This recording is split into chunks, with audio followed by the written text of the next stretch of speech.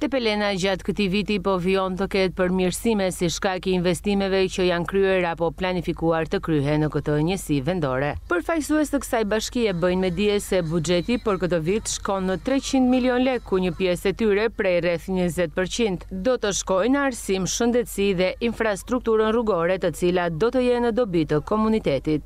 Totali i buxhetit Bashkia ka parashikuar është treqind milionë lekë.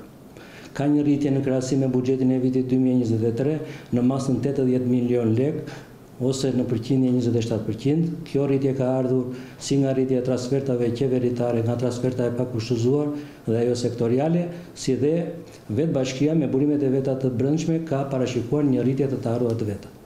Gjithashtu, përfaqësues të kësaj bashkie bëjnë me dije se rikonstruksioni i shkollës nëntëvjeçare Avni Rustemi do të shkojë rreth tetëmbëdhjetë milionë lekë. Bashkia e Tepelenës për vitin dy mijë e njëzet e katër është pjesë e bashkëfinancimit me qeverinë për rekonstruksionin total të shkollës nëntëvjeçare Avni Rustemi. Shuma e fondit që bashkia nga buxheti vet do përdori për këtë rekonstruksion është tetëmbëdhjetë milionë lekë. Projektet infrastrukturore dhe agroturizmi mbeten prioritet i Bashkisë Tepelenë që të vijojë punën në dobi të zhvillimit ekonomik të kësaj njësie.